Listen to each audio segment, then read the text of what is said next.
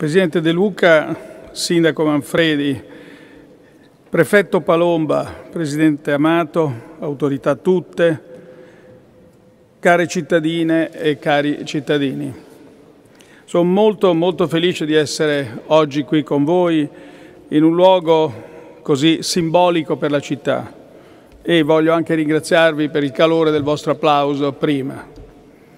In questa sala magnifica dove un tempo sedevano i re angioini e oggi si riunisce il Consiglio Comunale, è passata la storia di Napoli e di tutto il Mezzogiorno.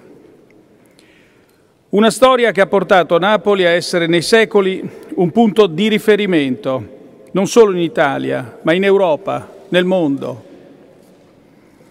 A Napoli fu istituita la prima cattedra di economia d'Europa, affidata Antonio Genovesi.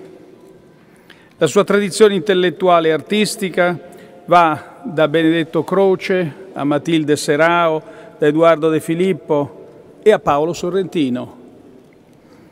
La nostra sfida è permettere a Napoli e con Napoli a tutto il Mezzogiorno di mantenere la centralità che merita. Ed è una sfida che deve unirci tutti, governo centrale, enti territoriali, società civile. L'occasione della mia visita è la firma del patto per Napoli. Voglio ringraziare il sottosegretario Garofoli, il sindaco Manfredi e tutti coloro che hanno lavorato attivamente a questo accordo. Con il patto destiniamo al Comune di Napoli 1 miliardo e 231 milioni di euro in vent'anni. Contribuiamo in modo significativo al risanamento dei conti del Comune e, come spiegato un attimo fa dal sottosegretario Garofoli, leghiamo i pagamenti al conseguimento di alcuni obiettivi, esattamente come l'Italia fa col Piano Nazionale di Resilienza. I comuni sono al centro della prospettiva di sviluppo che abbiamo per l'Italia i comuni sono i principali enti attuatori del PNRR. Il Governo vuole metterli in condizione di poter programmare con maggiore serenità la crescita della loro comunità. Il patto per Napoli coincide con il programma di investimenti più significativo nella storia recente del Mezzogiorno il Piano nazionale di ripresa e resilienza destina infatti circa il 40% delle sue risorse a sud, almeno il 40% delle sue risorse a sud. L'obiettivo del piano è colmare i divari territoriali ormai insopportabili. Il reddito pro capite del Mezzogiorno è infatti poco più della metà di quello del centro-nord e il tasso di disoccupazione è più del doppio.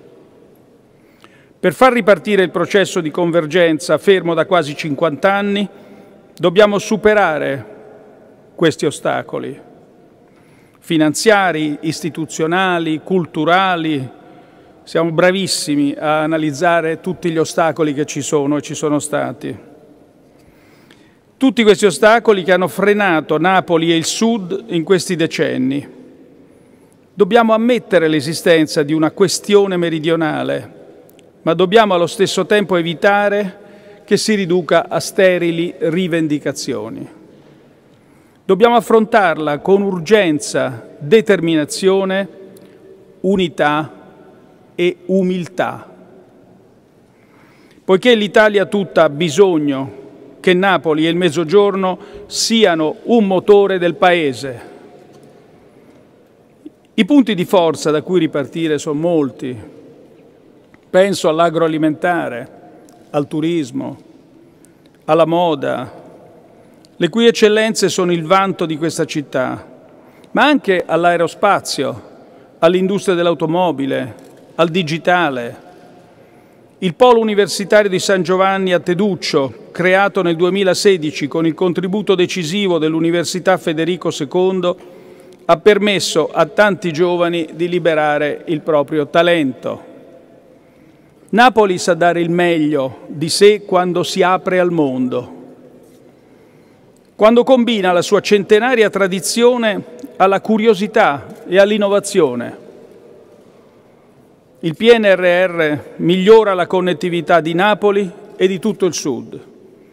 Destiniamo 241 milioni di, euro, al porto, di cui 130 al prolungamento e al rafforzamento della diga Duca d'Aosta. Completiamo le tratte ferroviarie ad alta velocità Napoli-Bari e Salerno-Reggio Calabria.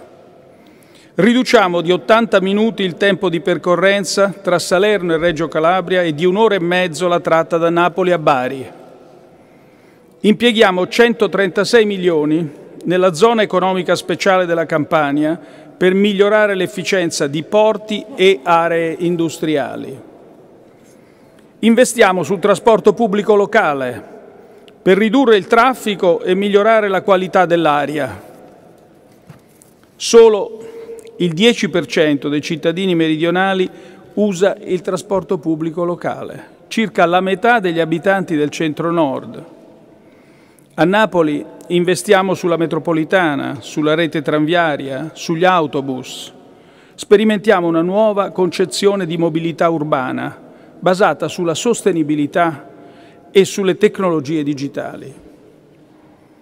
Napoli si è classificata prima nella graduatoria dei progetti di mobilità sostenibile MAAS. La città vuole essere protagonista del Piano nazionale di ripresa e resilienza e il governo intende sostenerla. Napoli e la Campania sono conosciuti in tutto il mondo per lo straordinario patrimonio culturale. Questo patrimonio comprende ben sei siti materiali considerati patrimonio dell'umanità. Il PNRR prevede un importante intervento su Palazzo Fuga, il Reale Albergo dei Poveri. Si tratta di uno dei 14 investimenti strategici per recuperare complessi di, elevato valore storico e architettonico che hanno bisogno di radicali azioni di tutela. Al progetto di Napoli sono assegnati 100 milioni di euro che garantiscono la ristrutturazione del palazzo dopo 30 anni di tentativi inefficaci. Voglio ringraziare in particolare il Ministro per il Sud e la coesione territoriale, Mara Carfagna, per l'attenzione che dedica a questo e a tutti gli altri progetti. Interveniamo anche per il miglioramento dell'edilizia residenziale pubblica. A Ponticelli come appena osservato il Sindaco. Realizziamo il nuovo ecoquartiere con 104 nuovi edifici e riqualifichiamo le aree verdi e i comuni dell'Otto 10 in via Scarpetta. Ristrutturiamo il rione San Francesco nella zona di Capodichino. Destiniamo 30 milioni a due progetti presentati dal Comune nei quartieri di Marianella e Chiaiano. I finanziamenti pubblici sono una condizione necessaria, non sufficiente, per il rilancio del Sud. Il PNRR richiede a tutti noi un salto di qualità nella gestione della spesa. Il piano va completato entro il 2026. Non possiamo lasciare che questi soldi vadano perduti o sprecati, come purtroppo è accaduto in passato ad altri a molti fondi europei. Dobbiamo poi saper investire su chi è stato lasciato ai margini della vita economica. Mi riferisco in particolare alle donne e ai giovani, le cui difficoltà a trovare un lavoro ben pagato sono allo stesso tempo una causa e una conseguenza dei ritardi di crescita del Mezzogiorno. Nel 2020 il tasso di occupazione delle donne in età lavorativa era appena il 35,1% al sud, a fronte del 62% nel centro-nord. Nel mezzogiorno il tasso di disoccupazione giovanile era del 35% e a nord del 15%. L'assenza di opportunità ha portato a un'emigrazione massiccia. Si stima che tra il 2002 e il 2020 oltre un milione di persone abbia lasciato il Sud, di cui il 30% laureate. Il nostro impegno è promuovere la partecipazione delle donne al mercato del lavoro e dare ai giovani l'opportunità di coltivare i loro sogni nella propria terra, se lo desiderano.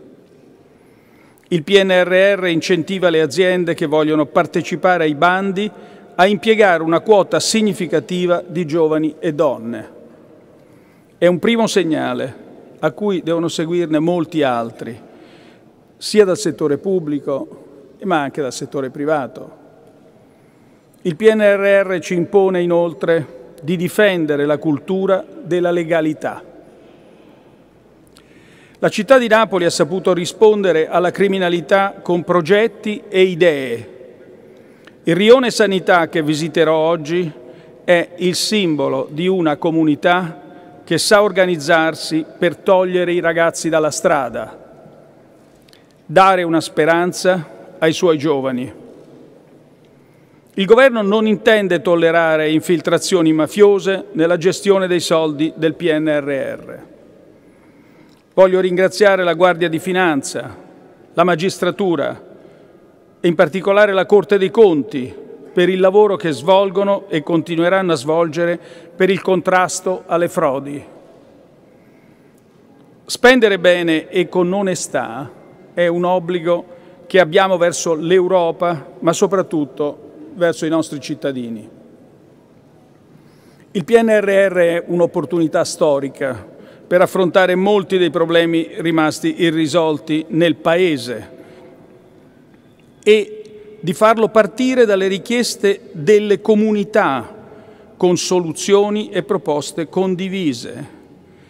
Perché troppo spesso nella storia d'Italia i cittadini hanno sentito le istituzioni lontane e hanno percepito i progetti di sviluppo, soprattutto quelli più imponenti, come qualcosa imposta dall'alto. In questo il PNRR è diverso perché parte dal basso, dai progetti che i comuni, le regioni e gli altri enti attuatori presentano. Con il PNRR riduciamo la distanza tra istituzioni e cittadini e costruiamo insieme il futuro che vogliamo per la nostra collettività. Per farlo serve entusiasmo, ingegno, immaginazione. La stessa materia di cui è fatta Napoli. Auguri Sindaco, grazie.